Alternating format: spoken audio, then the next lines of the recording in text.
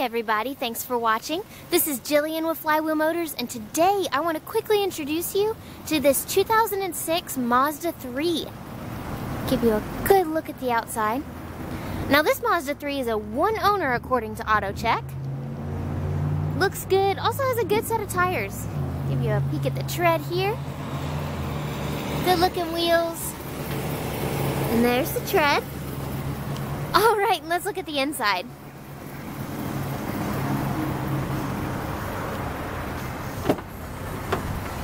Okay, now this Mazda 3 has cloth seats and they're in good condition, no rips or tears.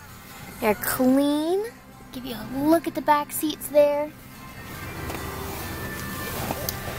Also, this Mazda 3 has 148,109 miles on it. And it's got a lot of features. You have a 6-disc CD player here as well as your normal radio stations. Steering wheel controls. Also a nifty thing about this one, you would think this is a typical glove box, but it actually has a good bit of storage. You can see there's a pocket here and it goes way back there. So pretty neat feature there. Up and my favorite feature, the sunroof.